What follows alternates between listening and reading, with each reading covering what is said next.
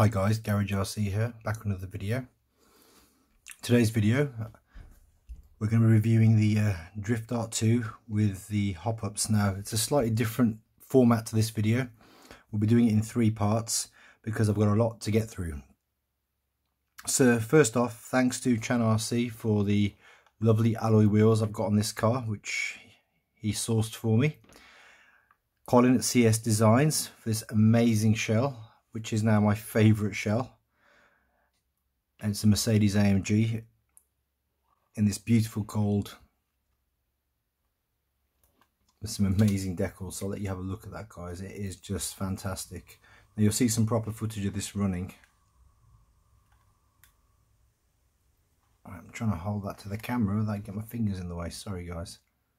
That is the most beautiful shell. Okay, you'll get some good footage of that later. And another thank you to the guys over at Drift Art. The team at Drift Art have sent me lots of fancy parts to test. So I've had a bit of an exclusive here. Now I've been sat on these parts for actually for nearly four weeks now, I think. But in between I've gone on holiday and lots of things have come up which have kept me busy. And some of you follow me on Facebook know that I've already mentioned I'll be doing a review on this. So it's the new steering servo system called the Vector Foil. Sorry, correction, dual Vector Foil. And the key features that are different here, now I've got an animation that I will pop up and talk about in a second that explains how this works, probably better than I can show you here, but the premise of it is the servo can be angled, as you can see mine is sat at about 12 degrees here, using different size angling blocks. So these blocks go on the front and rear. I'm going to line them up so you can see them and I'll zoom in. Each block has its own pair. And that goes front and rear to give the servo the tilted angle. As you can see they have a pre-cut angle into them.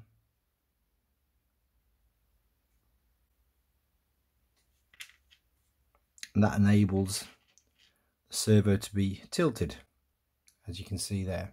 Okay so those are the mounts of the servo they've got either side. I'm just going to turn the wheel that way so you can see the mount in place. There you go there's the front mount. And the rear mount I'll see if I can show you from the other side. The longer rear mount you can see in place there.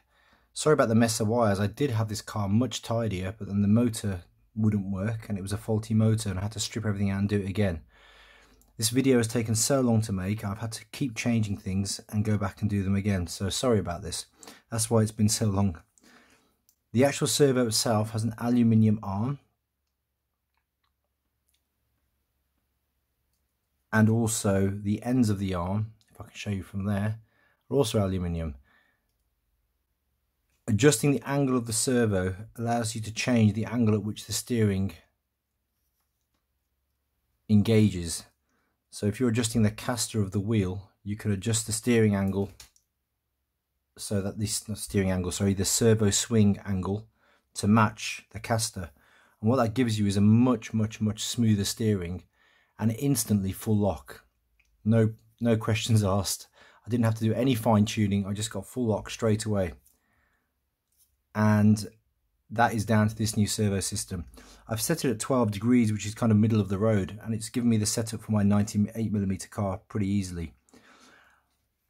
Also at the front where you've got, I want to show you how close this is, how well engineered it is. If you look closely there, can you see how close that is? The actual arm when it turns.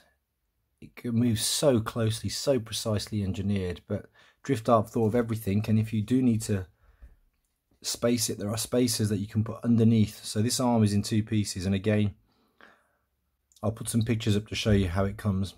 So you can actually set the settings to adjust how low it goes, depending on the angle you've got the servo at. Very adjustable. I mean, I've gone for the middle of road settings. I haven't used any spacers, and it, it's absolutely perfect. In terms of how it impacts the steering itself. I mean, obviously, I'm going to do some test footage to show you. It's just having that ability to go full lock straight away. And you can do that with the standard drift art, but it requires a bit more work. In this instance, it didn't take me much effort at all. I was getting full lock both ways, full angle, sorry, not just lock, as in parallel Ackerman. I don't think you can get any more steering angle than that really. Okay. Now one thing I have got to show is it does give full lock both ways. Yep. I've done something there. Right, I'll check that. Okay. So let's power on the transmitter and see how this works. I'm using my EX6R.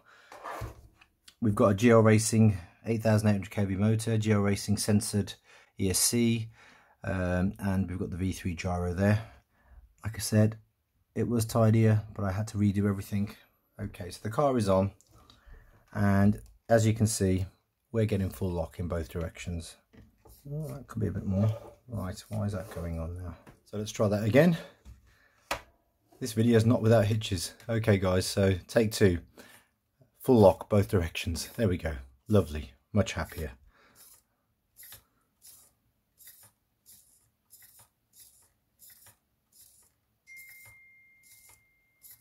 Brilliant. Camber adjustment is controlled by these rods here to move the wheels in and out.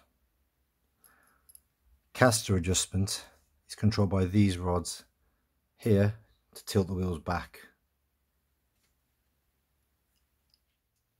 Toe in and out is controlled by the steering rods there on either side.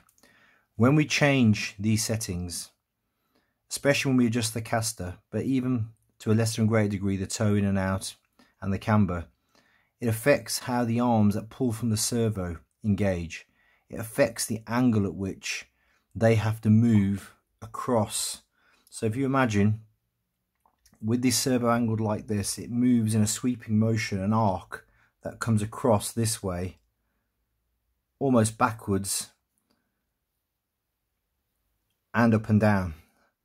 Whereas if the servo is horizontal, that was perfectly horizontal, the arm movement is just going to be in one dimension, pretty much. Have I said that right? One dimension? I think you get the gist I'm trying to say here. The arm movement just moves like that pretty much. By altering the angle, you're bringing in as the wheels turn in, and you can see as the caster adjustment causes the wheels to, instead of turning flatly this way and that way, they tend to lean back. And that leaning back is where this works. That's the best way to explain it, guys. If you almost look at my wheels, you can see the inside of them when they're down on for the inner wheel with the caster set the way it is the way these arms are now set up, that works in complement. If the servo was more vertical, so more upright, as it pulls across, the arm itself doesn't flow, lend itself to this movement. It's kind of fighting it. And I hope the animation that Drift Art sent me will explain that more clearly. So there are other optional extras on this car, the aluminium base plate, the uh, tooth gears for the uh, rear drivetrain, and also I have replaced all the arms with these gold adjustable turnbuckles, I think. you See those? But those I will review later. It's all about the steering today. So the animation explains this better, but all I can tell you is that the steering just seems smoother. Now the standard Drift Art 2, the steering is very good. I love the servo horn design with that. And you get a lot less wheel shake and it's much easier to set up. As you can see here, very easy to see where the center of the uh, horn has to go. You've got that little gold spot in the middle there, which is a, uh, a marker that you can use. And with that, set your wheels up accordingly. I've got about three degrees toe out on both sides. And the track width for this setup is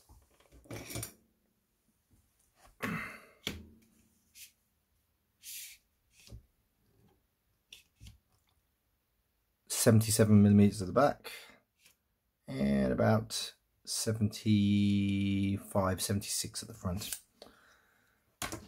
So, what did I notice the most with this new upgrade?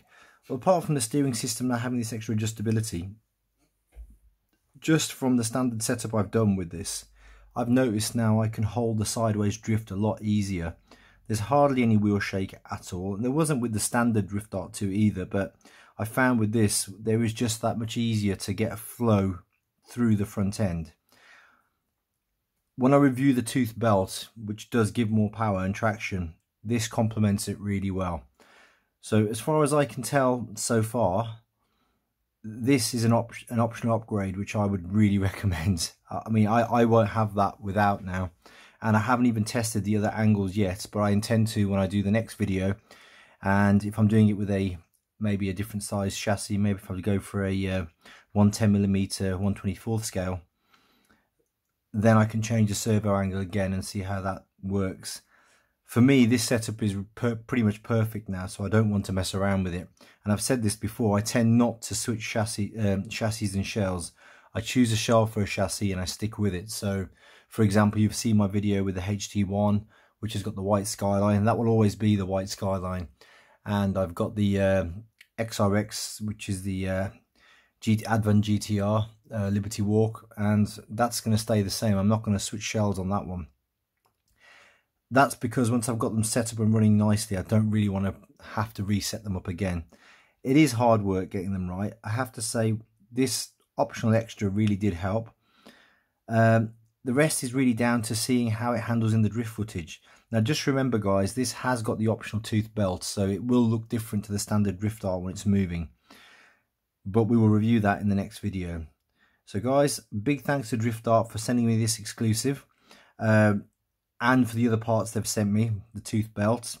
And there are other parts I've yet to review, which I'm going to review next time. I hope that gives you some insight into this steering system. Uh, okay guys, that's all for this video. I'm going to leave you with some drift footage. I might talk over that and give you some more idea of what's going on. And I'll see you guys all next time for part two, which will be about the tooth belt. So guys, this is the dual vector force system in action. Remember I've got a toothed belt on this car, so it is a lot faster. Again, you can see in the slow motion clip that the car is moving sideways pretty fluently, and it's going to hit a bump in a second and just ride over it like it's not even there. Really good suspension system, really good steering system. Now, in a second, the car is going to do a maneuver I didn't expect, but do not worry, no Drift Arts were damaged in the making this video, and that gorgeous shell is still unscratched. But in a second, you'll see me getting a little bit too adventurous with the extra power, and I'm going to end up sliding off the edge. I think here we go. Is it now? Here we come, guys. Sorry. Boom, that's the first time I've slid the car off the edge of the table, but there you go, it does happen to me. So overall, what I'm trying to show here is that the car will just sit sideways very easily, and I can do this even with full throttle with this 8800 uh, kV uh, sensored brushless motor. If anything, with the steering full lock to left or right, with the full throttle on, the car almost slows down as it's fighting itself, but then slides sideways beautifully. Uh, I'll have that footage for when we do the tooth belt review because that's more in line with that, with the power coming from the back wheels. For suffice for this video, I wanted to just show how the steering handles and how the car moves. Overall, I think you can see that you know, the Drift Art's brilliant anyway. It's a very good car and the standard spec. I love the steering system, but I have got that much more steering angle available, and the car does seem to just want to go where I want it to go. Important point to mention here is on the previous Drift Art video, I had a counterweight over the steering system. In this video, I haven't, and I think that's in part the way this steering uh, new servo. Maybe the weight of the arm is a little bit heavier, but also the angle of the servo and the steering system, the way it engages, is just with more control. So overall, I'm very impressed with this servo system and the servo arm. After using it, I don't think I'll be without. And certainly, I'll be ordering another one for my other Drift Art too, which I'm going to use for the uh, 124th scale. Guys, that's all for today. If you like what I do here, please subscribe to the channel. And I'll see you all guys in the next video.